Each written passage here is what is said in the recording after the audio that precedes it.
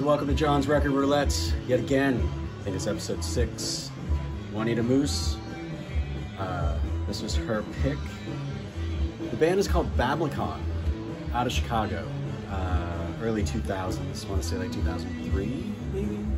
Could be wrong. I'm not doing full-blown research and all this stuff. I just know that I own it. Um, and uh, the best part about this band is that I got to see them live a few times, but that is how I was able to pick up this one-of-a-kind, um, hand-painted little uh, release. This is their second album, and I, I, I, have to show this little insert that comes with it, because basically the album is called The uh, Orange Tapered Moon, and it tells you right here that this record cover was painted by an audience member at a Bablicon show at Truxto Audio. Got nothing on this. April 28th, 2000.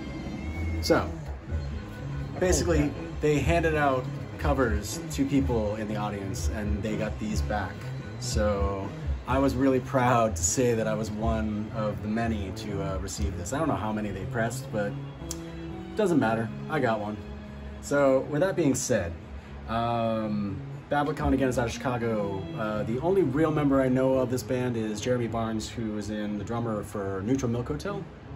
And um, they kind of were of a time and a sound where it was like Frank Zappa and Captain Beefheart, and seeing a show by them was like a spectacle. And I always kind of attribute it to like a local band called Need New Body, or even uh, before that was Bent Like Fatima.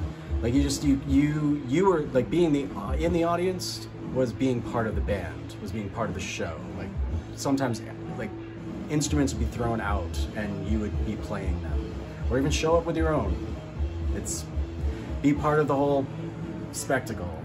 And uh, I kind of enjoyed that, you know. Obviously,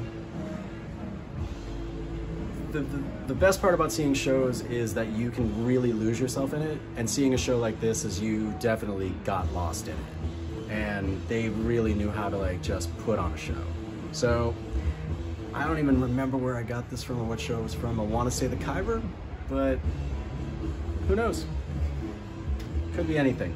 Anyways, Juanita, thank you for this because uh, every once in a while, and I will tell you this real quick story um, about the beginning before all, you know, the world crapped its pampers, as my friend Michael liked to say.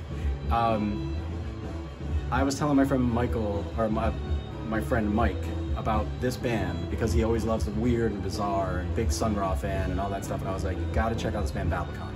So whether or not he's checked them out, if he checks out this video, maybe he'll hear in the background, yeah, this does have me written all over. So anyways, Juanita, thank you for playing. Um, there'll be more to come. Thanks for playing John record, John's Record Roulette.